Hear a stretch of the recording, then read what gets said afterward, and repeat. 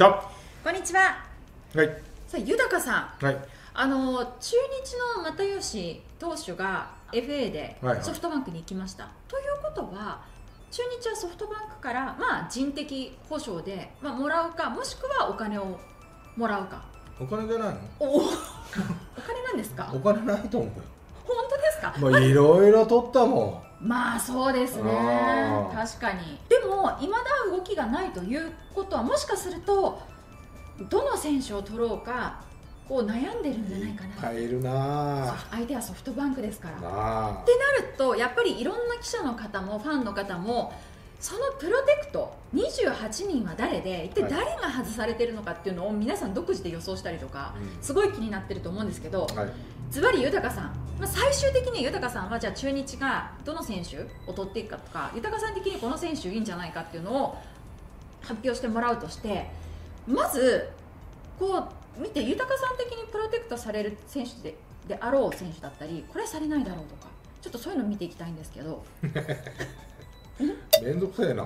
いやいやいやみんなねいやいやそうだよな。これを。いやでもこれは大変な作業だよね。去年覚えてますあの巨人の。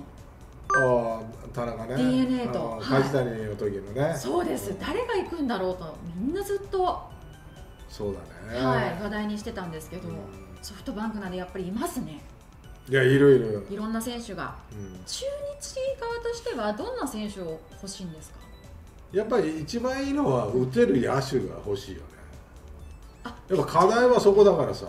あただ防御率とかはは1位なわけだから。はい、そんなにいるかっていうと、はい。まあ確かにバンテリンというね、うん。えー広い球場をバックに投げてるから、はい。ホームで投げてるから防御率は必然的に下がってくるけども、はい。まあ他の球場行った時にはね打たれてるという、はい現状を考えると、うん。まあピッチャーでもいいのかなというふうには考えるけど、はい。それでも俺は野手が欲しいと思う。野手。で野手でじゃあこの選手はもう完全にプロテクトされてるであろうってなると豊さん挙げると。まず甲斐だよな。あそりゃキャッチャーの甲斐は出せないよ。取られたくないよ。いやそれは絶そ対りゃそうだよ。そりゃそうですよね。そりゃもうなんかコンピューターみたいなもんだから。あまあそうですよ。そうそうそう。頭脳だからね。頭脳を渡したくはないのでもう解説は絶対もうプロテクトされてるであろう。それからああ千賀だよね。あーあピッチャーのまあそうでしょうね。そりゃそうだよね、はい。と吉田と柳もちろん柳田選手なんかも。でも柳田の給料払えるか？っていうところもあるんだよ。プロテクトしなくても。こうなったら中日がどっかから柳借金。田空いてるけど取るんだよお金借りて。お金ないぞみたいななっちゃうんじゃない？まあそうですね。あでもプロテクトはするよね、まあ、絶対ねすするでしょうね。もしなんかでね中日がおっ！ってなってどっかからお金工面して、まあね。取っていかれたら困るんで柳田選手はプロテクトで栗原。はいそうですね。栗原選手も。で中村。はい中村晃選手。はい。とかあとまあシュ,、まあ、周東選手も、まあシュートをどう考えてるかだよね。まあ、昨シーズンがねああの今シーズンがちょっと怪我というかあれでしたけど。うん。まあシュートぐうんまあでもああいうスペシャリストは欲しいよね。まあまあいいいたらいる絶対、よね、はい、今宮選手。いもういるよね、じゃあプロテクトされてる。からリチャード。うんリチャードもやっぱりされてるでしょ、もうこれからの選手ですもんねそうだよリチャード選手まあ、昨年の活躍からしたら三森、あ三森選手、はい、まあ、ピッチャーでいうとあと東浜、はうん東山、い。武田、い、あ武田あそうですね。武田投手もすごい金額でうん。契約しま石したよね川、森、杉山、はい。古谷、坂東、そうですね。ここら辺。ピッチャーがやっ松く本笠谷、はいまあ、泉っていうのもそうかな、はい。まあ大体そんなところになってくると思うんだけどさ、うん。プロテクトしてるのがね。なので大体まあ20人ぐらい。あと8人プロテクトできるの。そうなんです。お例えばじゃあ松田選手とか。マッチはやっぱ年齢的にはい。取らないだろうという予測のもとで、はい。プロテクトはしないよね多分。ベテランっては割としないんだよやっぱもう年齢的に取っても翌年引退じゃないかってなるとさ、はい。すごく損したような気分でしょ？まあそうですね。だったらだから和田も多分プロテクトしないんじゃないかなっていう左の。ああわだもうどっちも和田剛ね、はい、うん。もうあのプロテクトしないんじゃないかなっていうような感じはするんだけどね。やっぱあと中日松田選手はまあ内野手なので、うん。そこまで欲しいとも思わないってことですか？まあない出ないうん。あとはまあなだからどう考えてるかだよ。うん。立浪監督は、うん。例えば石川というねはい。三塁手がいるんだよ。それを使うってなってくると高橋周平をセカンドに回すとか、はい。まあ、いろいろコンバート案も頭にあると思うんだよね、うん。まあ、いろんな角度からものを考えてると思うから監督って、うん。まあ、そうなってくるとマッチっていうのはいらないなとか、あーそうかそうするとソフトバンク側もまあマッチ外しても多分向こうは取っていかないだろうなっていう。俺は中日の一番のテーマは打てるはい。か走れるかな。んだそうですね。そうかそうか。やっぱ足なんだよ。スピードなんだよやっぱり広い球場は。うん。スピードのある野手が欲しいんだよ。じゃあこの2人をプロテクトからまあ和田和田投手は投手ですけど外してても、まあ取っていかないだろうなっていう中日。取っていかないよね、うんまあつもりとかやっぱプロテクトかなって思うよね。プロテクトはい。正子選手。あの柳田選手がいるのでなんともあれだったりもします。でも正子って右なんだよね。うん。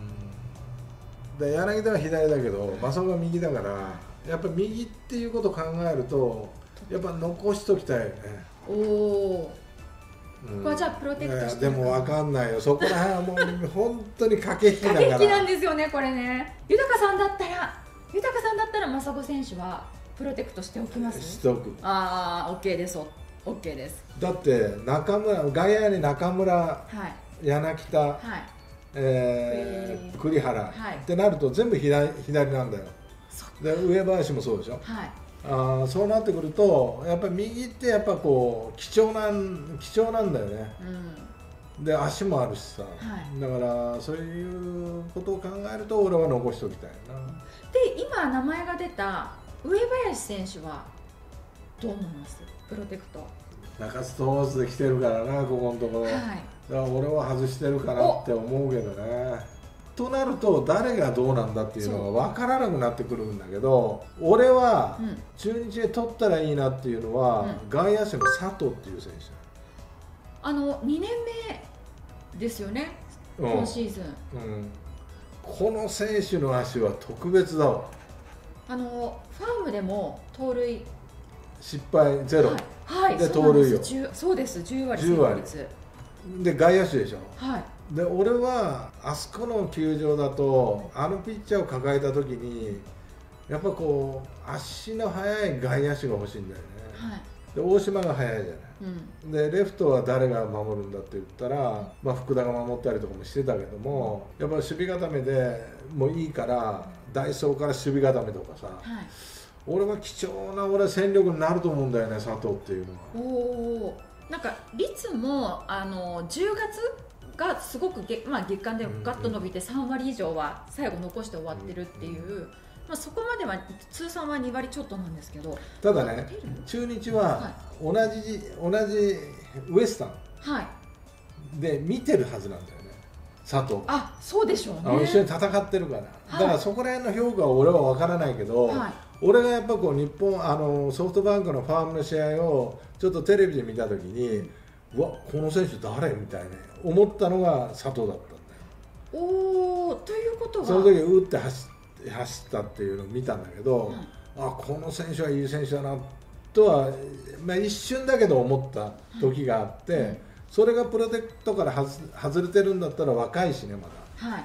面白いなっていうふうには俺は思うよね。なんか第2の周東選手みたいなのもちょっと書かれてたんですけれどもプロテクトから外してる可能性もあるよね。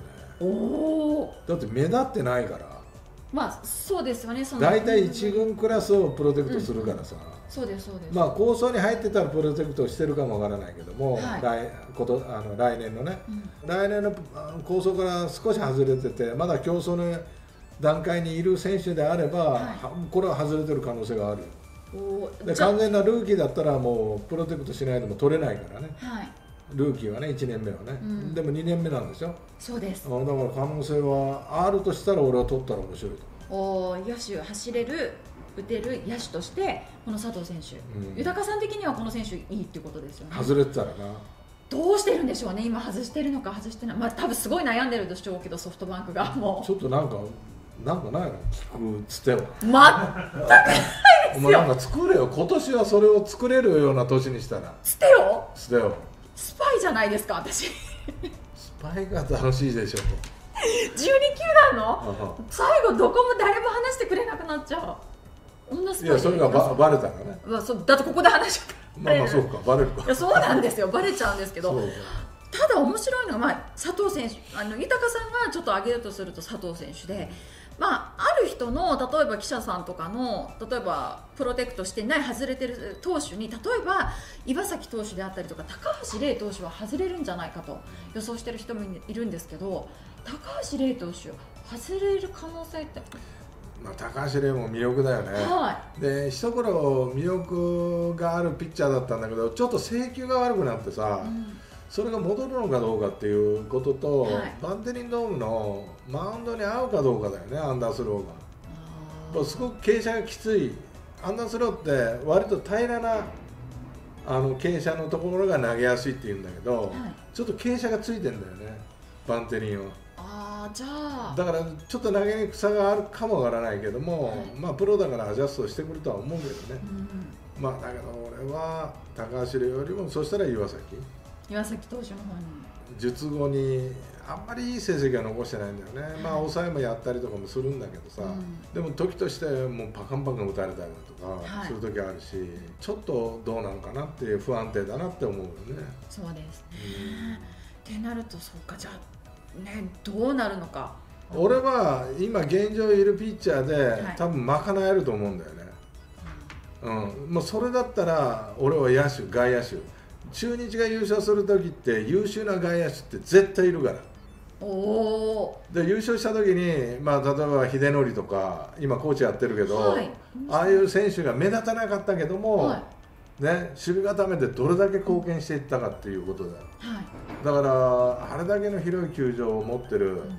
中日でやっぱ足っていうのはもう必須なんだよね。うん。だから佐藤でよろしくお願いします。